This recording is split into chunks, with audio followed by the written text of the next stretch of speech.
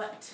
Your Highness, I have some odd news. Um, Rupert is escaping to the New World as we speak, and I fear that he's plotting an assassination.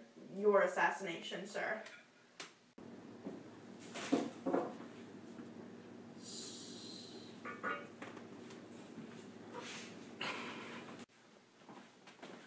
Sir, I must apologize. There seems to have been something wrong with your supper. It will take longer than originally expected. What was wrong with it? There was a strange man in the kitchen putting something on your food.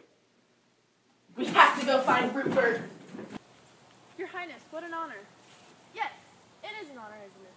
I'm looking for a man who's tall with dark hair. His name is Rupert Greenwich.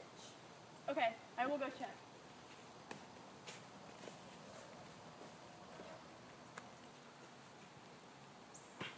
I found this man who fits the category. Is this him? Yes, guards.